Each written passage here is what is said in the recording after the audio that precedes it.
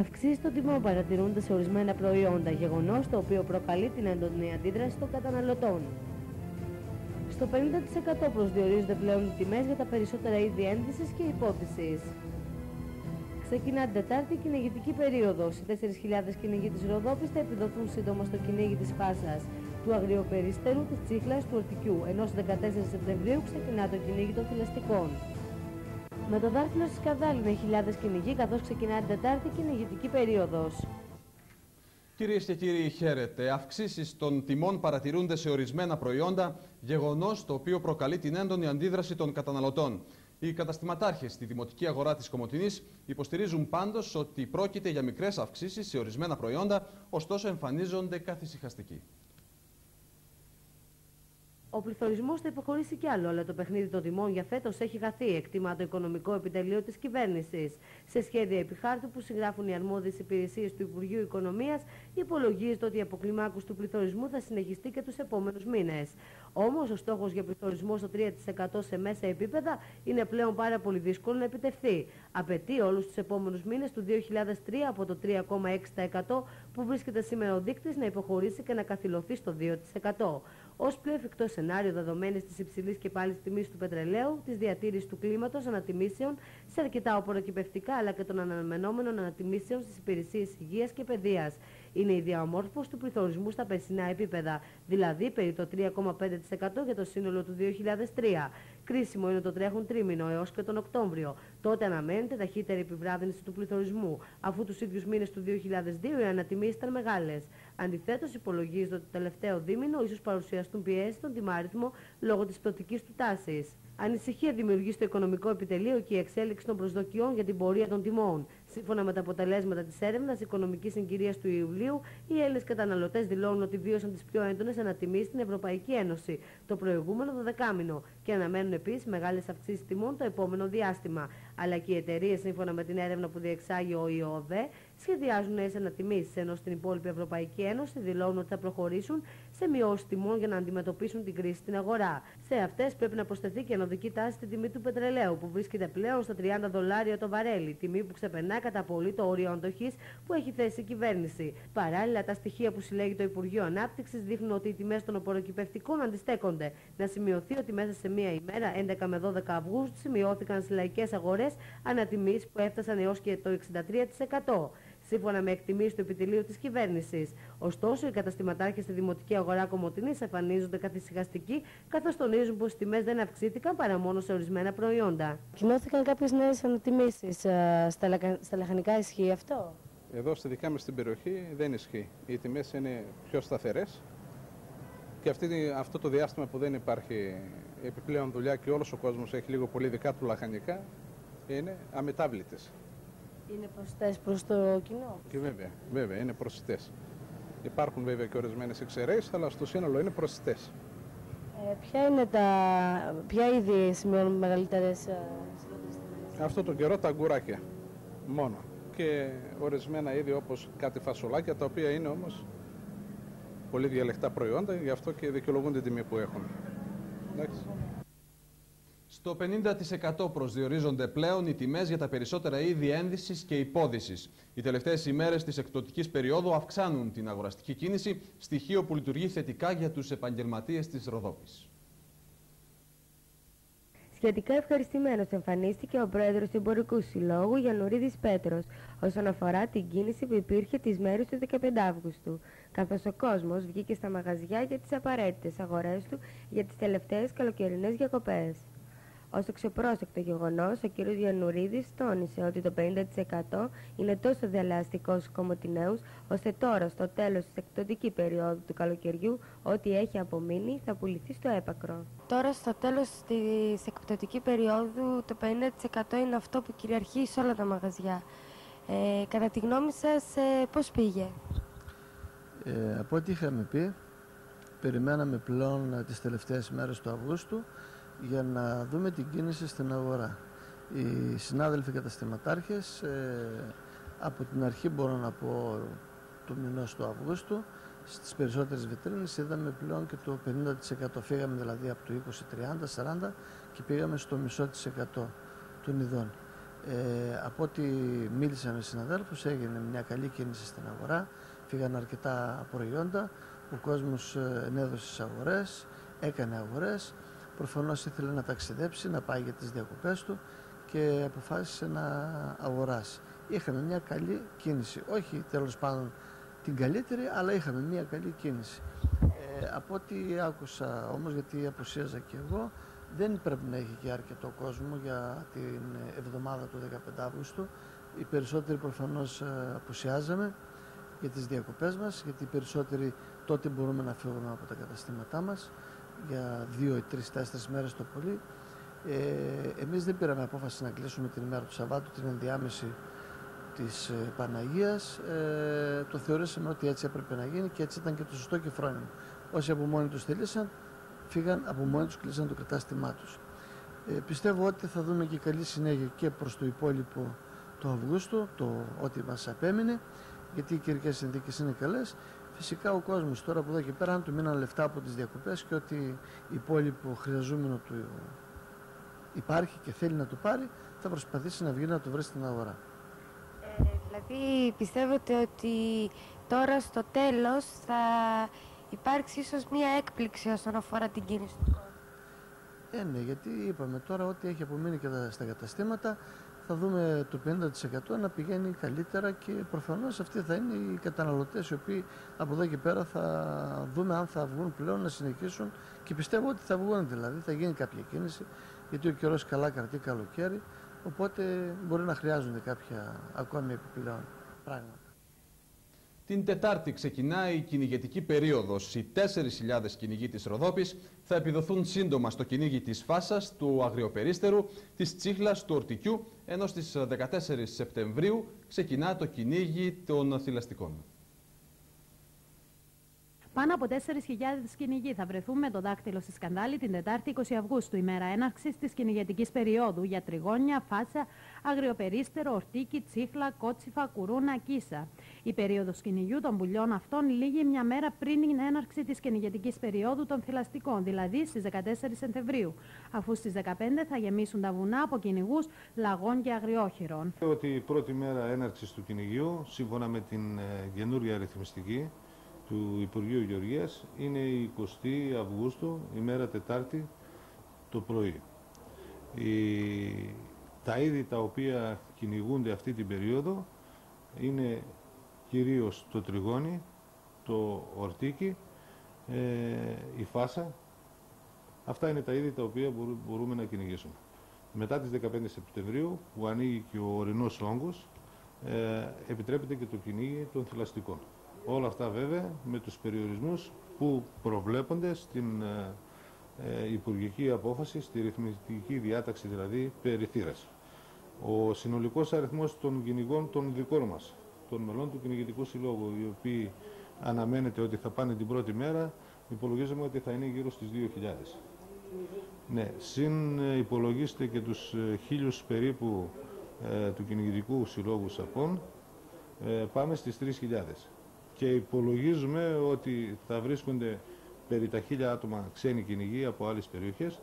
Θα είναι δηλαδή στο νομό μας αυτή τη στιγμή την Τετάρτη γύρω στις 4.000 άτομα. Οι περιοχές που επιτρέπεται το κυνήγι στη Ροδόπη είναι οι παιδινές και οι ημιπαιδινές. Σύμφωνα με τον κύριο Γρηγορόπουλο, κυνηγετικές περιοχές χαρακτηρίζονται οι νότιες των παλαιών εθνικών οδών Κομωτινής Ξάνθης και Κομωτινής Αλεξανδρούπολης. Ε, από την Ξάνθη παίρνει τον παλιό δρόμο Αμαξάδες, Σκοπτερό, Ίασμο, ε, Σώστη, η παλιά η εθνική οδός ε, που συνέδεει την Κουμωτινή με τη Ροδόπη. Και από εδώ, από την Κουμωτινή προς, την, ε, προς τις Άπες, ο παλιός ο δρόμος. Από εκεί και προς τα πάνω, βόρεια δηλαδή, απαγορεύεται το κυνήγι μέχρι τις 15 Σεπτεμβρίου, ενώ από εκεί και νότια προς τις ε, λίμνες επιτρέπεται μέχρι τις 15 Σεπτεμβρίου. Θα παραμείνουμε στο ίδιο θέμα, καθώς από το πρωί στα γραφεία του Κυνηγητικού Συλλόγου δεκάδες ήταν οι κυνηγοί που θέλησαν να ανανεώσουν την άδειά τους. Πανέτοιμοι δηλώνουν οι κυνηγοί του Συλλόγου Κυνηγών του νομού Ροδόπης για να υποδεχτούν την γενεγετική περίοδο. Όπως δηλώνουν και οι ίδιοι, τα σκυλιά είναι άρτια εκπαιδευμένα, τα όπλα καθαρά και έτοιμα, ενώ το πρωί ανανέωναν τις άδειές τους. Άλλοι χρόνια κυνηγοί και άλλοι νεότεροι θα βρεθούν την Τετάρτη με το δάχτυλο στη σκανδάλη και ό,τι επιτρέπεται να πυροβοληθεί θα μπαίνει στο στόχαστρο. Πόσα χρόνια κυνηγάτε; 72 έβγαλα άδεια. δηλαδή, 70. Συνεχίζετε να βγα- βγάζετε άδεια για να κυνηγάτε. Ναι, ναι, ναι, ναι. Πότε ξενε- ξεκινάει η κυνηγατική περίοδος, ξέρετε; 20 Αυγούστου. Και τι, για ποια θυράματα επιτρέπετε; Τι, Για ποια πουλιά επιτρέπετε, τι θα κυνηγήσετε; εγώ είναι ορτίκη. Αγριογούρουνο, Τώρα νομίζω, ναι, 15 Σεπτεμβρίου είπε. εσείς έχετε πάει για κυνήγι αγριογούρουνο. Όχι. Μέχρι τώρα δεν έχω πάει. Πού έχει πολλά πουλιά, σε ποιες περιοχές του νόμου; Α, περιοχές τώρα, πού να ξέρω, περάσματα. Περάσματα. Θάλασσα δεν τα πας. Εκεί. Έχετε καλά σκυλιά; Βεβαίως. Χωρίς σκυλιά δεν κάνουμε το κυνηγό. Πόσα σκυλιά έχετε; Τρία. Και βρίσκουν καλά τους... ε, Είναι για ανάλογα για το κάθε κυνήγι του κάθε σκύλι. Για τα ορτίκια έχουμε τα φέρμα μας. Συνήθως όταν πηγαίνετε για κυνήγι πάτε με παρέα, πάτε μόνος σας. Πάντα με παρέα. Το κυνήγι θέλει παρέα. Εσείς σε ποιες περιοχές πάτε για κυνήγι; Σε ποιες περιοχές πάτε για κυνήγι; Ε, εδώ μέσα, στο, αυτές που επιτρέπονται τώρα εκεί πέρα. Ποιες είναι αυτές που επιτρέπετε. Ε, επιτρέπω το δημόσιο εκεί πάνω προς τα δω τα αυτά που απαγορεύεται. Από εδώ και κάτω θα πάνε τώρα. Στην ορεινή Ροδόπη. Λαγός. Δηλαδή πού, προς Κέχρο, προς ε, Πάτερμα, πού; Όχι, πάτορμα δεν υπάρχει, προς τα πάνω δεν υπάρχει. Όπως πάνε τώρα κομμωτινή ξάδι, αυτό που εδώ προς τα πάνω απαγορεύεται. Μόνο από εδώ κάτω. Και εκεί εδώ κάτω στο αυτό απαγορεύεται μισοχώρο αυτό και εκεί απαγορεύεται μέχρι σκηνιά κάτω. Εσείς ε, νέος κυνηγός; Ε, όχι και νέος πολύ. Πόσα χρόνια; 8 χρόνια έχει. Έχετε πιάσει πολλούς λαγούς. Ε, δεν τους πιάνεις με τα χέρια. Έστω, έχετε πυροβολήσει. Ε, Έχω πυροβολήσει. Ναι. δηλαδή είστε καλός κυνηγός, έχετε καλό σημάδι. Ε, τώρα στο πουν άλλοι. Εγώ δεν μπορώ να πω ότι είμαι καλός κυνηγός. Κατάλαβες. Δηλαδή η χαρά του κυνηγού ποια είναι, την ώρα που θα δει ένα λαγό και θα τον πετύχει; Αυτή είναι η χαρά; Ε, απ' τα σκυλιά όταν θα τον κυνηγάνε, το σκοπός είναι να το χτυπήσεις. Πόσα χρόνια κυνηγάτε; 50. Έχετε πιάσει φαντάζομαι πο- και πολλά πουλιά και πολλούς λαγούς. Όχι πολλά πουλιά, όχι πολύ λαγή, γιατί εγώ είμαι μέτριος. Δεν είμαι τόσο μανιώδης για να σκοτώνω. Τα λυπάμαι και λίγο, απλώς για το χόμπι. γιατί- Άλλος, ποιος άλλος θέλει να μιλήσει; Εσείς είστε καλός κυνηγός; Αρκετά. Έχω 19 χρόνια που κυνηγάω. Τι να... Δηλαδή έχετε καλό σημάδι. Καλός, καλός, ναι. Τα σκυλιά σας καλά είναι; Τα καλύτερα. Τώρα αυτές τις μέρες προετοιμάζεστε, καθαρίζετε τα όπλα, βγάζετε τα σκυλιά για εκτέλεση. Ε, βέβαια, σε δύο μέρες ανοίγει το κυνήγι. Συντροφιά με μια καλή ταινία προτιμούν να περάσουν οι Κομωτινέοι κάποιες καλοκαιρινές βραδιές. Κομικές ταινίες ή περιπέτειες μονοπολούν το ενδιαφέρον κάθε λάτρη του κινηματογράφου. Δεν λείπουν βέβαια και εκείνοι που επιθυμούν να βλέπουν παλιές καλές ελληνικές ταινίες.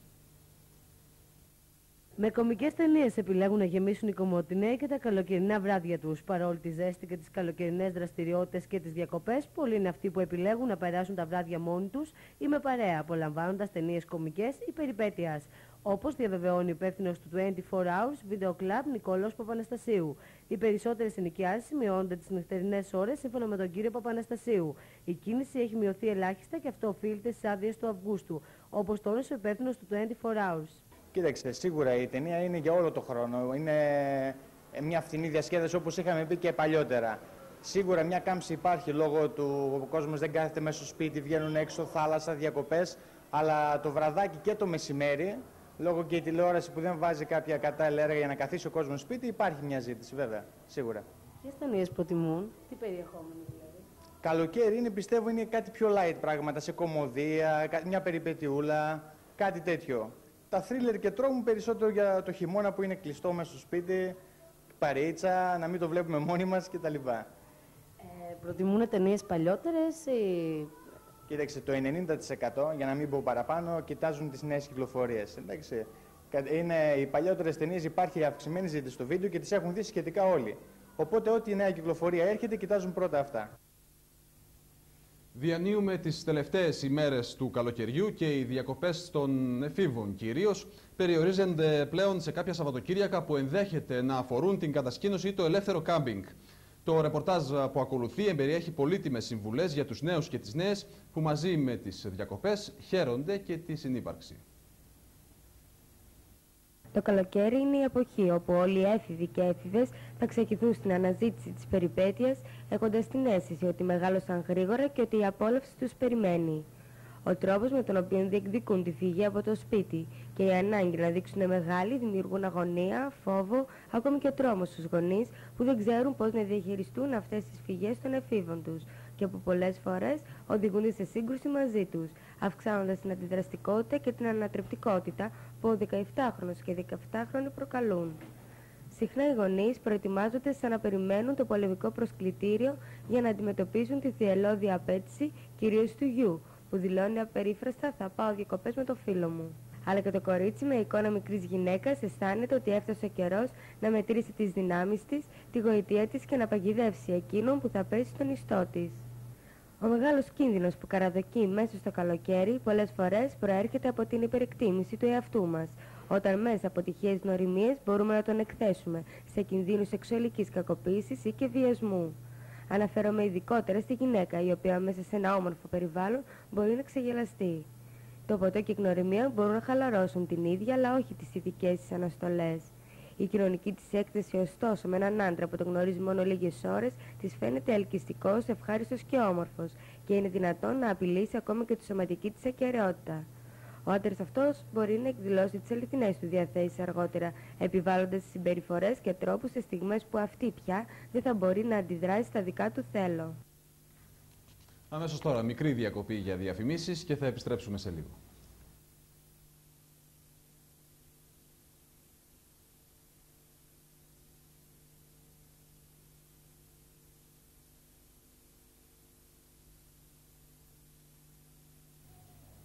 Επιστρέφουμε στο δελτίο μας. Η άγνοια οδηγεί τα περισσότερα παιδιά στο κάπνισμα από την ηλικία των 10 ετών. Σύμφωνα με μια έρευνα που πραγματοποιήθηκε σε δείγμα 500 μαθητών, το 21% των παιδιών μέχρι 10 ετών έχει καπνίσει ή καπνίζει, ενώ το 79% δεν δοκιμάζει. Κατά την ίδια έρευνα, τα παιδιά που δεν δοκιμάζουν καπνίζουν τελικά τσιγάρο για πρώτη τους φορά στα 11 τους χρόνια. Σε ηλικία 10 χρονών δοκιμάζουν για πρώτη φορά το τσιγάρο τα Ελληνόπουλα. Για ποιο λόγο, για πλάκα κυρίως ή για λόγους επίδειξης. Τα περισσότερα παιδιά πάντως έχουν άγνοια των επιπτώσεων του τσιγάρου στην υγεία. Έρευνα που έγινε σε δείγμα 500 μαθητών της 6η του Δημοτικού και του Γυμνασίου Σχολείου του Δήμου Ανατολικού Ολύμπου έδειξε ότι το 21% έχει καπνίσει ή καπνίζει, ενώ το 79% δεν έχει δοκιμάσει. Η πλειονότητα των μαθητών που δηλώνουν ότι έχουν καπνίσει λένε ότι η πρώτη επαφή με το τσιγάρο ήταν στα 10 τους χρόνια, δηλαδή το 26%. Και αν δεν το δοκιμάσαν στα 10, δοκιμάζουν για πρώτη φορά στα 11 τους χρόνια, 17%. Οι υπόλοιποι δοκιμάζουν το τσιγάρο στα 12 ή στα 13 τους, 14% αντίστοιχα. Στα 14 το 8%, στα 15 το 16%, ενώ από τα 16 και μετά μόνο το 5% πρωτοκαπνίζει. Επιπλέον, το μεγαλύτερο ποσοστό, δηλαδή το 54% των παιδιών που καπνίζουν, δηλώνουν πως ξεκίνησαν το κάπνισμα για πλάκα. Το 14% λέει ότι το έκανε για λόγους επίδειξης, το 8% για να προκαλέσει το ενδιαφέρον του άλλου φίλου. Το 6% είπε ότι ο λόγος ήταν για να φανεί πιο όριμος.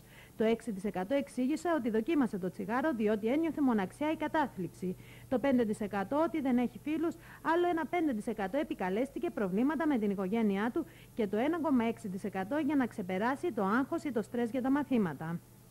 Περισσότερα αγόρια, 24% παρά κορίτσια, 18% έχουν μοιραματιστεί με το τσιγάρο. Ωστόσο, μόνο ορισμένα κορίτσια λένε ότι καπνίζουν συστηματικά και κανένα αγόρι. Τα ποσοστά των παιδιών που καπνίζουν περιστασιακά είναι 10% μοιρασμένα εισάριθμα στα δύο φύλλα. Δεν το δοκιμάζουν μόνο όμως το τσιγάρο, προς τις τελευταίες τάξεις του γυμνασίου εδραιώνεται η συνήθεια αυτή, συμπεραίνει η έρευνα, όχι όμως σε συστηματική βάση. Οι μαθητές που δεν καπνίζουν έχουν αρνητική στάση και πρόθεση για να καπνίζουν. Σε ποσοστό 75% δηλώνουν ότι δεν θα ήθελαν να καπνίσουν ποτέ. Αντίθετα, μόνο το 26% των παιδιών που δοκίμασαν το τσιγάρο λένε ότι δεν θα θέλουν να ξανακαπνίσουν. Αρκετά υψηλό είναι και το ποσοστό των παιδιών που δηλώνουν πρόθεση να ξανακαπνίσουν όταν βρουν δουλειά, δηλαδή όταν καταστούν οικονομικά ανεξάρτητα, δηλαδή το 35%. Και αλκοόλ. Οι μαθητές που καπνίζουν φαίνεται ότι έχουν περισσότερη σχέση με το αλκοόλ από ότι οι μαθητές που δεν καπνίζουν. Περισσότερο από το 63% των μαθητών δηλώνουν ότι έχουν πιει μερικές φορές ή ότι πίνουν, αλλά όχι συστηματικά, ενώ μόνο το 1% δηλώνουν πως δεν έχουν πιει ποτέ ή νοπνευματόδη ποτά. Από τους μαθητές που δεν καπνίζουν, το μεγαλύτερο ποσοστό, στο 31% δεν έχουν πιει ποτέ. Η πλειονότητα τους συνόλου των μαθητών, των 51% πάντως δεν έχει πιει ή έχουν δοκιμάσει μόνο μία φορά. Θα ολοκληρώσουμε την ενημέρωσή σας με την πρόγνωση του αυριανού καιρού.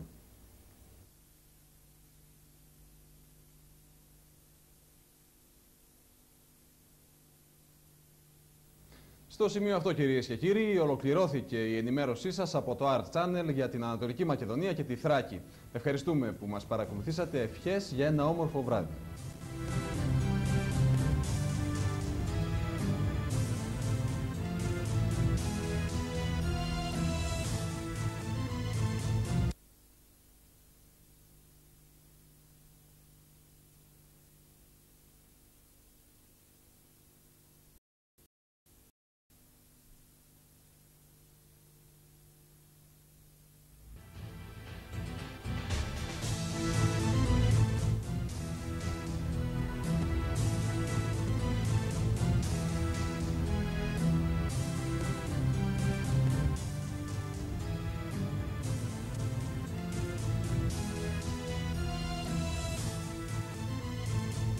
Στου 61.000 άγγιξε τελικά ο αριθμός των επισκεπτών στο λιμάνι της Καβάλας, στο τετραήμερο που παρήλθε. Οι αδειούχοι συνεχίζουν κατά μεγάλο μέρος να περνούν την τελευταία εβδομάδα του Αυγούστου στο νησί της Στάσου. Σε ιδηλιακό υγροβιότοπο φυσικού κάλους μετατράπηκε το φράγμα της Γραδινής. Το φράγμα που κατασκευάστηκε δύο χρόνια πριν για τις ανάγκες του εργοστασίου της ΔΕΗ ελκύει περιηγητές και ερασιτέχνες ψαράδες που αρκετές φορές αψηφούν τις απογορευτικές πινακίδες. Στα 8.000 έχουν φτάσει αισίως στα πρατήρια υγρών καυσίμων, νούμερο που παραπέμπει στην αντιστοιχεία ενός πρατηρίου για 200 οχήματα.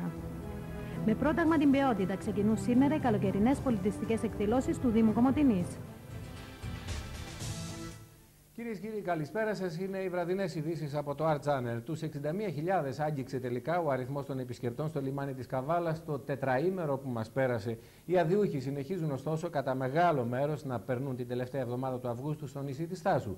Τα στατιστικά παντοστοιχεία καταγράφουν μια αύξηση της τάξης του 50% σε σύγκριση με πέρυσι. Αυξημένη ήταν η κίνηση το τετραήμερο και στο